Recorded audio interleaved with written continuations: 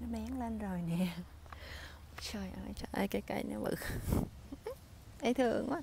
Sáng nào á cũng ra nhìn nó trời ơi thấy thích dễ sợ luôn á. Ờ, nó nó bén rồi nè. Đó, nó bén. Ừ. qua mới cắt hành ăn à nè. Thế gì cỡ. Ôi ôi mình trồng nè nó bén rồi nè.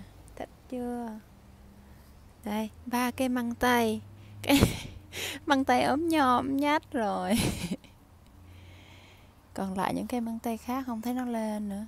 Mình trồng thêm mười mấy cây đó. À, mưa quá với lạnh á không có lên được.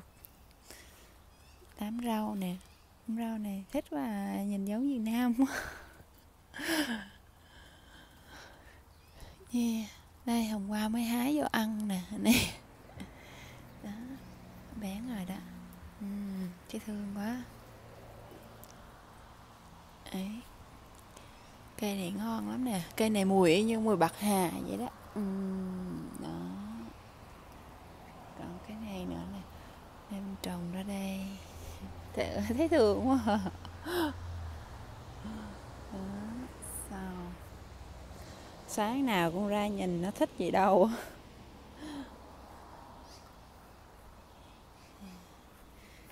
à, nó thương ghê không? Ngắm hình này thấy thương ghê chưa? Uhm. hai cây này chắc nó bị mất gốc rồi nên là nó không có lên được. Nó bị đứt rễ. À, đẹp quá. Ôi đang lên.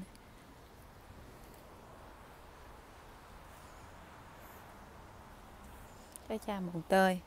Mùng tơi này mưa nhiều quá không lớn nổi.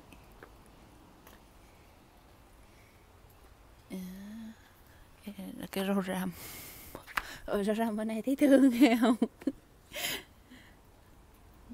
À, chi?